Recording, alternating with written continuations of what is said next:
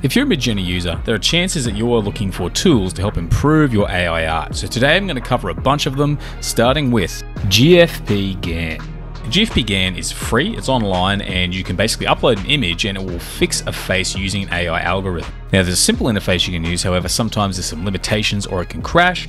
However, you can also use the full interface, and I will link to all of these in the description below with the tutorial. But the results speak for themselves if you compare this image to this one afterwards. Next is to choose a photo editor, and I highly recommend Adobe Photoshop and learning the skills associated with Adobe Photoshop. That way, you can edit, add text, cut out images, touch up artwork, even use generative fill to fix up little details in your image. It's really the most powerful photo editing platform out there, but it does take a little bit to learn. So I do recommend Adobe Photoshop. Otherwise, there's a few simpler platforms you can use. There are things like Luminar Neo, which is an AI photo editor. It allows you to do some of these things as well, such as upscaling, cutting out images, and adding some basic sort of effects, layers, and even adjusting color. Otherwise, if you're looking for something basic, you can add text and do designs with. Canva is another place to go simply pop your AI art onto your sort of image and you can start adding text and things around it. But the photo editing is a little bit limited. But uh, any one of those three to get started can be a great way to help improve your AI art. Next is the Adobe Express Background Remover.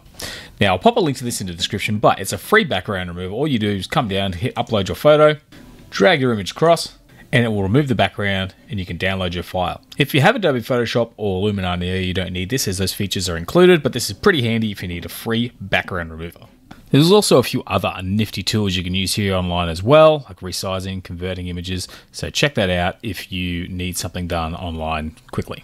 Also, today's video is sponsored by Skillshare. If you don't want to fall behind in your career, I highly recommend you keep upskilling and learning new things in order to stay up to date. Now, I'm personally always trying to adapt with the times, and Skillshare is an online learning video platform that can help you do this. Now, my creative and business goals are to improve my YouTube videos, my artwork, and also sell more digital products and learn how to do that in order to improve my passive income. So I've been exploring Skillshare and have found a whole bunch of courses that can help me improve and continue to be my own boss, including video video marketing, personal branding, and even passive income. Recently, I tried this course by Charlie Commence about how to stand out in Society 6 and make more money with print on demand. She covered the full process, including how to identify trending topics and art styles and how to combine them for more sales. So I've been using that myself to create better artwork for my print on demand stores. This course is run at a very easy to follow pace, and there's no distractions from ads or anything like that, so you get fully absorbed in the information being presented. I've even spotted on my next course, which is all about growing an audience with video video. And if you want to learn more about AI or AI art, there's a bunch of courses on that also. If you're not sure where to start, check out Skillshare's Learning Paths.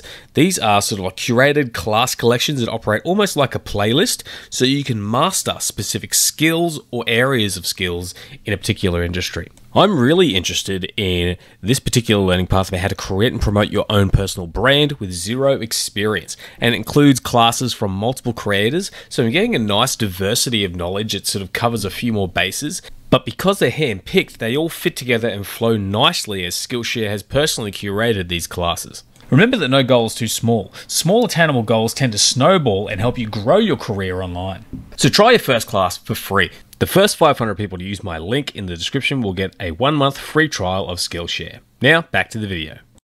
Another big part of improving your AI art is actually learning how to create better prompts. And you can get some references pretty easily by going to websites such as freeflow.ai, where you can search for and copy prompts off their website and some really good quality images there.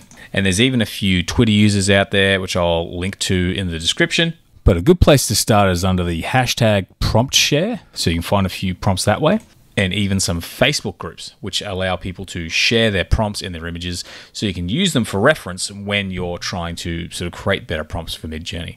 Also, there's twomoons.ai where you can grab a whole bunch of free prompts for a bunch of platforms or even premium prompts you can buy uh, so that's another resource for finding cool prompts you can use in Midjourney. And of course, I highly recommend going into Midjourney's website and checking out the community feed, where you can go to certain images, open them up, and you can actually see the prompt and the settings there that you can use and create images from that. Also, don't forget to check out my Midjourney Styles playlist. It has a whole bunch of styles you can add to your prompts that very easily and quickly change the way your images turn out. The next tool is a face swapper called Insight Face, and it's actually a plugin that you add into Discord, and you can also add your your Midjourney bot into Discord, and then what you can do is take your images, upload a photo of yourself or someone else, and it will use AI to swap those faces and does a pretty good job in the process. So you can actually customize the faces of characters created in Midjourney with this really easily, and it's a very powerful tool with a whole bunch of options.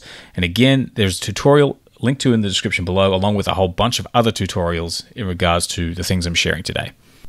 Next is vectorizer.ai. Now, that allows you to actually upload any of your images that are suitable for vectorizing, and it will automatically convert them into vector graphics. And if you're not sure what vector graphics are, they are images created from shapes that allow you to scale to an infinite size and print at almost any size without any loss of quality.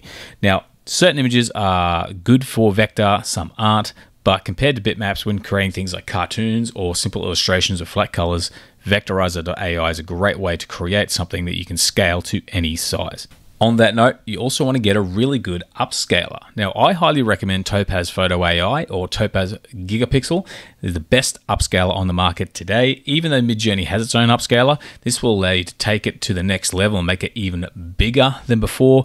Or even if you just don't want to use the Midjourney upscaler, this does a way better job anyway. There are some other upscalers out there. For example, there's one in the Luminar Neo package I mentioned earlier, not as good as this. And There's also Upscayl, a free upscaler, which I will link to below. But again, it's not quite as user friendly and not as powerful as Topaz Photo AI. So I highly recommend checking that out. I've got Topaz Photo AI on the screen right now, and you can see the results are pretty incredible. Also, just quickly, don't forget to check out my Midjourney cheat sheet. It has a whole bunch of commands and parameters, everything you need to know to maximize what you can do with Midjourney. The next is postimage.cc. Now, sometimes when you're uploading images into Discord, people have issues getting the URL out of it in order to do image prompting. What I recommend is using postimage.cc, where you can upload your image, go straight to the direct link, copy it and you can use it right within Discord for your image prompting. It's a lot easier than trying to back and forth within Discord, so I highly recommend that if you're having issues with your image prompting. Also, there are some good marketplaces out there for you to actually sell your AI art. For example, Wirestock will actually upload to a whole bunch of different stock photo sites. It allows you to sell packs or even framed art prints and it's actually quite easy to get set up. And if you're not actually submitting to various marketplaces, you can upload your images basically for free and sell on their marketplace. But also some good print on demand stores out there, such as Redbubble, Zazzle, or even Spreadshirt allow you to create your own prints, and even Displate. Displate creates these really awesome metal prints that you can use. And I'm not sure how easy it is to get approved by Displate, but it is something you can use if you've got some cool AI art that you wish to sell. And it's really cool because all you do is upload your file, and when someone orders one of your prints, it gets printed after the order's been paid for. So you just get your cut. It's basically passive income. And although there's still some skills to learn on marketing those images and actually getting your customer base up, it can be a very powerful way to use AI art to generate some income for yourself. Also, another really powerful way to improve your prompting is to use prompt generators, where you pop in something you'd like to see and you can apply a bunch of styles to that and generate prompts pretty easily and basically review those to see what keywords were used and kind of experiment from there. Now, I do have a list of the top prompt generators out there. It's a video. I'll pop it up on the screen right now so you can check that out. Otherwise, thanks for watching the video. I hope to see you again next time. Have a great day.